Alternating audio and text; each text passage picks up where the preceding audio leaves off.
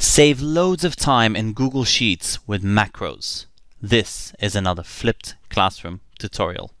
Now, there's a brand new feature in Google Sheets that is going to save you so much time, and it's called a macro. Now, basically, a macro is a set of instructions remembered, and you can execute them over and over again.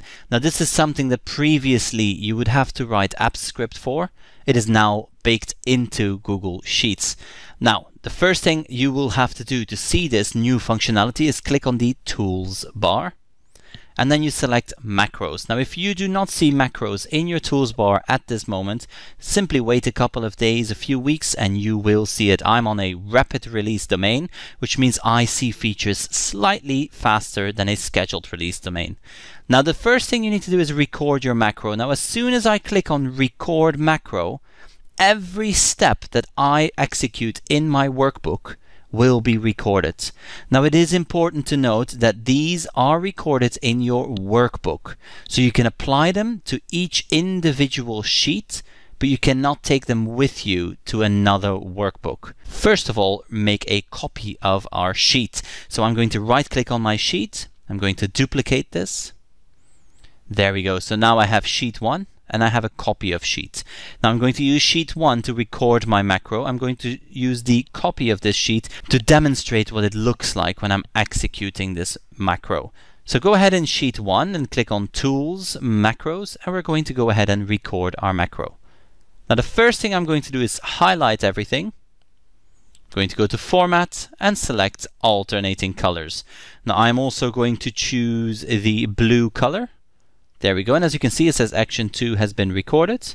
Now the next thing I'm going to do is I'm going to lock the first row and I am going to sort my sheet alphabetically. All done. I can now say save. Once all the steps have been recorded, you simply title your macro. I'm going to go with format and alpha and you can give it a shortcut. Now for the sake of this demonstration, I'm not going to add a shortcut. Simply click on save and this is now saving the new macro. Now you will see when I go to Tools and then Macros, there is now a new button that says Format and Alpha. Now this is alphabetizing and formatting my sheet. So let's go ahead into our second sheet. Now, mind you, this is still the same workbook, so make sure that you work within the same workbook. All I have to do now, and I'm going to close this menu to show you just how much time can be saved. I'm going to go to Tools, macros and I select format and alpha.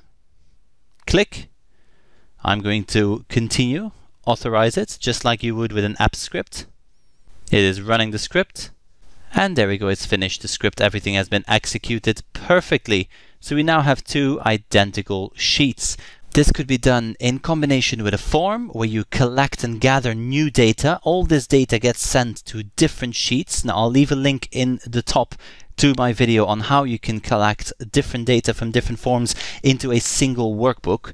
And then you simply use macros to quickly sift through the data and execute a couple of repetitive steps. I find this an amazingly powerful feature. It has so much potential to save time and to just make these repetitive tasks that we all have in spreadsheets much faster without any need for coding. Let me know in the comment section below how you are going to use this new feature and I thank you for watching.